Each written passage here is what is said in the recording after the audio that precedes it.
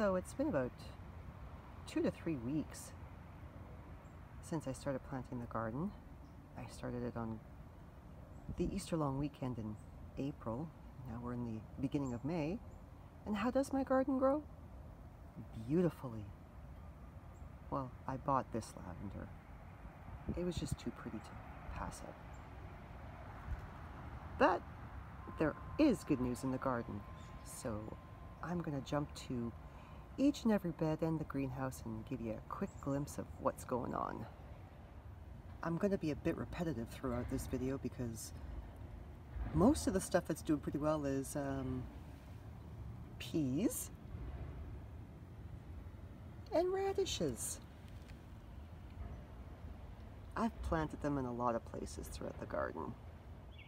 This is the garden bed by my deck, and as you can see there's more peas. I had some extra leeks, so I put them in a pot.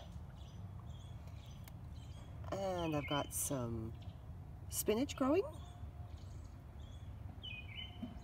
And of course, more radishes. These are my uh, Japanese wasabi radishes. They were some free seeds I got from uh, Baker's Creek in Missouri. Giving those a shot. I had an extra cabbage plant and a couple extra onions, so I put those in a pot too. More peas there. This is a, another type of spinach growing here. And of course, some more radishes. And another type of leek I had, some leftovers that are in a pot here. See what they do. Sometimes I have a hard time letting go of seedlings if I have extras. Here's some more cabbage seedlings in pots that didn't have room for in the garden, but let them grow. This is one of my garden beds along uh, one of my fences, and they're hard to see, but there are peas growing. And where are they? Where? Are, oh, there they are. There's my radishes. So this is another garden bed I have by the, the fence. More peas, obviously. And I did put in some, I have to lift this up, some lettuces. These are, um, there's the other one, Merveille des Quatre Saisons. I also have a, um, that's an iceberg there.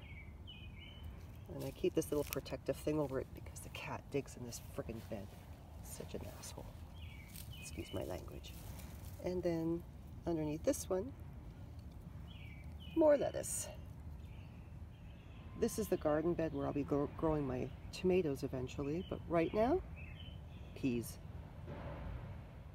Now this garden bed is uh, all the onions. You can see my garlic growing nicely at the back there. But this is a mix of onions, beets, parsnips, and carrots and leeks. A good many of the carrots have started to come up. Uh, there you see a nice little bunch of them. They're still very, very tiny.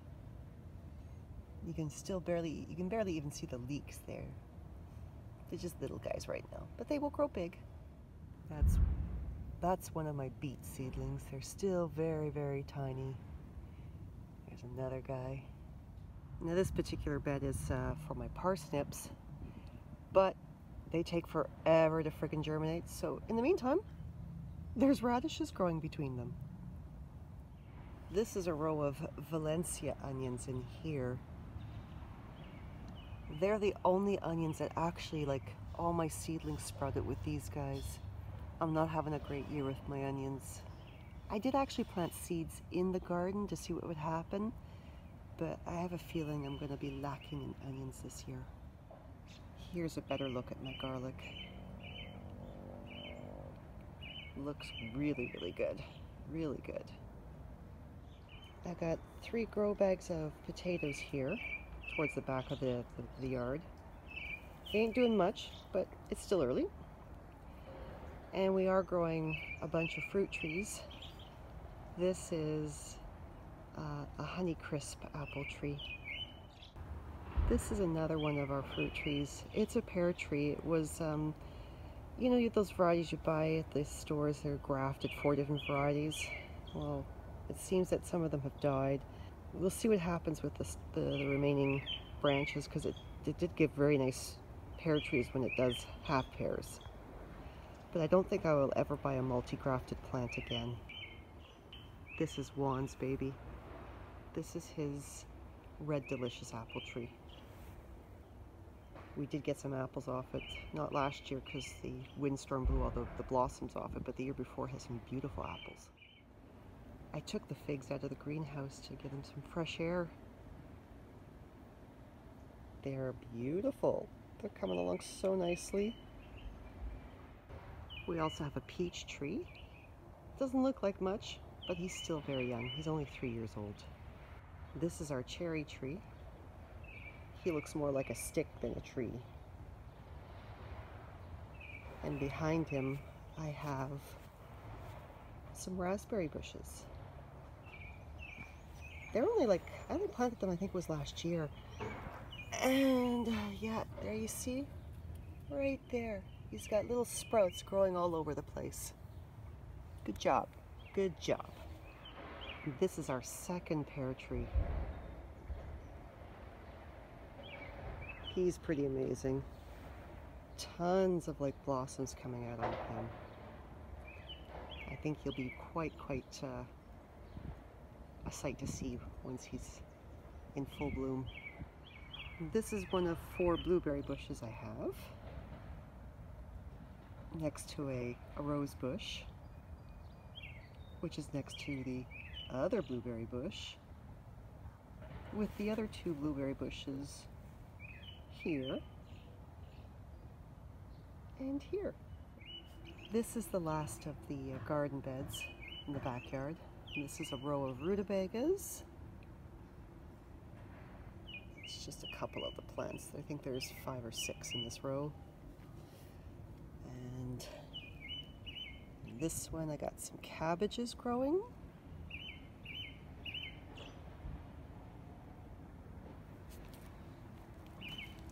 These are my turnips.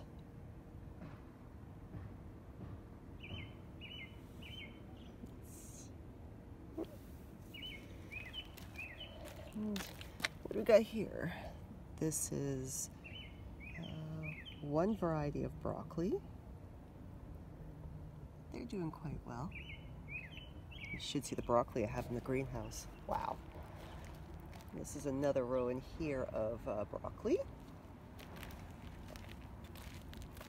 Here is some more cabbage. Most of these are red cabbages. I think down at the very, very, very end is a, a green cabbage, if I'm not mistaken. And here we have, oh, you'll, these are going to be hard to see. They're so small still. If I can get really focused in for you. Just be patient, please. There they are. Celery. This is a Chinese celery, and I also have a French variety.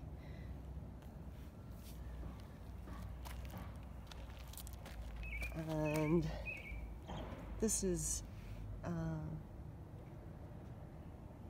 are they? Oh, these are Japanese wasabi radishes mixed in with some bok choy plants. And I don't do much weeding at this time of year, but I do do uh, what is I call deforestation because I have tons of little maple trees growing all through the garden beds that I have to get rid of, or I'll have trees everywhere. And this is another row of uh, Japanese wasabi radishes mixed in with some uh, bok choy. And then the last row in here, these are more rutabagas. They're all doing quite well. All doing quite well. So outside the greenhouse, I have uh, another potato. It's a half tower. I didn't do a full tower, I just did a half tower. That's potatoes. And inside the greenhouse, look at that. Aren't they freaking amazing? A little warm for them. They don't like the heat. And they need a little bit of water too. Now they're mixed in with some uh, green onions. And these are iceberg lettuces. And then over here, uh, this is leaf lettuce with some green onions mixed in.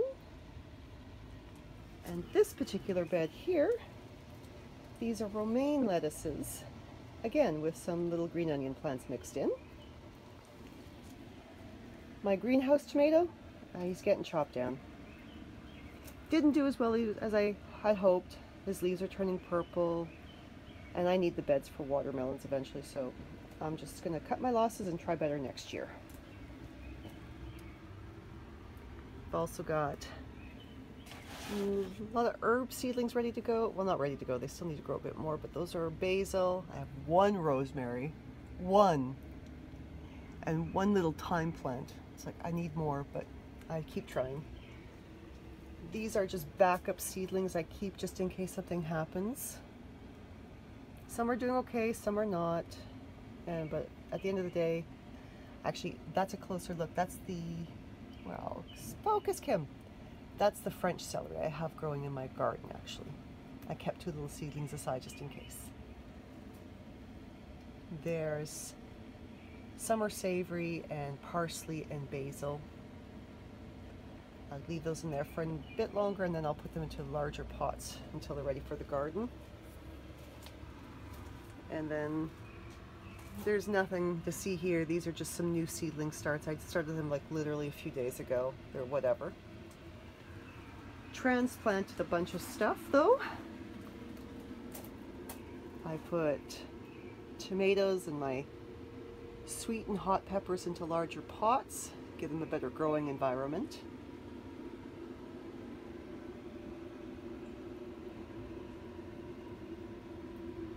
That's some parsley there too. Same thing down here. Mm, those are, uh, yeah, that's honeydew and cantaloupe. And then over here, watermelons and one cantaloupe, I think. Yeah.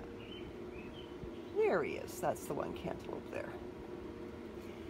I also had some small pots of citrus plants that I put them in bigger pots, gave them a better little environment to grow in.